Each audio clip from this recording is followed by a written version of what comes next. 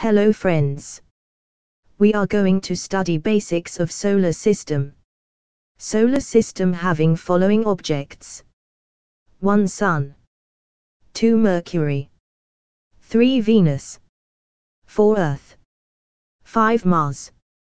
6 Jupiter. 7 Saturn. 8 Uranus. 9 Neptune. We will see three basic properties of the each object. Later in the next video we will see every planet in details. Sun. The Sun is the star at the center of the solar system. Sun is made up of hydrogen and helium. Sun generate very high amount of energy. Mercury. Mercury is smallest planet in solar system. Mercury is closet planet of the Sun. Mercury is having just 88 days in his one year. Venus. Venus is the second planet from the Sun.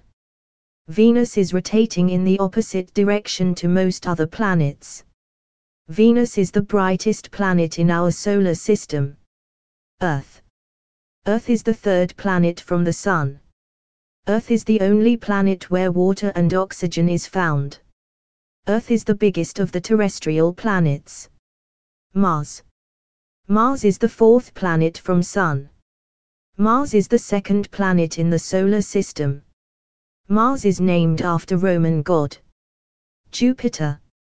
Jupiter is the fifth planet from the Sun. Jupiter is the largest in the solar system. It is a giant planet. Jupiter has a faint planetary ring system composed of three main segments.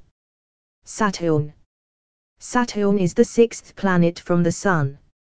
Saturn is the second largest in the solar system. Saturn is best known for the system of planetary rings. Uranus. Uranus is the seventh planet from the Sun. Uranus is not visible to the naked eyes. Uranus is the planet discovered with the use of a telescope. Neptune. Neptune is the eighth planet from the Sun. Neptune is dark, cold, and very windy planet. It's the last of the planets in our solar system. Please subscribe and comment for suggestions.